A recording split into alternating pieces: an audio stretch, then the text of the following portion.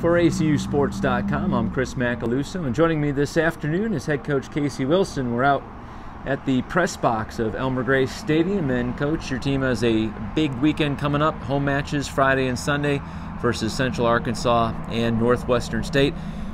First question to you is: How has the team been able to practice for these matches with all the rain we've gotten here?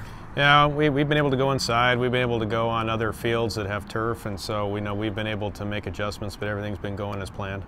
Central Arkansas, it's a team that you haven't lost to, but it's also a team that's been giving you fits the last couple of years. There's two ties, you have two wins against them.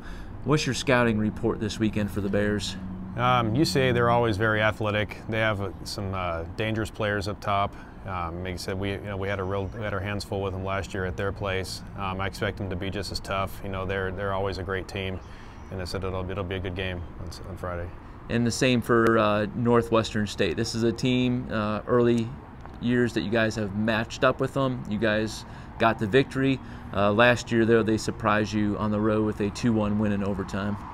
No, they're also a very good, good athletic team as well. I mean, uh, I mean, there aren't too many teams in our conference that are that are you know automatic wins. There's none. Mm-hmm. But uh, I mean, these two teams in particular this weekend are very athletic. We expect them to be very dangerous, and so you know we've got to do the small things right and, um, and, and do things you know effective on our end on the on the offensive side. Um, that's that's the way we're going to have to play it, and that's the way we're hopefully we'll have success. You had a one-on-one weekend uh, last weekend on the road. You started off with a victory at Southeastern Louisiana. Um, then you go down to Nicholls, uh, give up two goals, and it was just too much of a deficit to uh, come from behind on. Uh, as you got to look at tape this week and go into practice, uh, what, what's your grade for your team from last weekend's performances?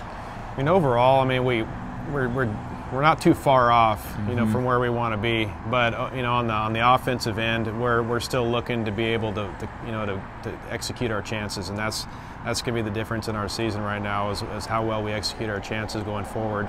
Um, other than that, I feel good about the way we're playing, but you know, it just comes down to whether you put goals in the net. Otherwise, that's it's hard it's hard to win games that way.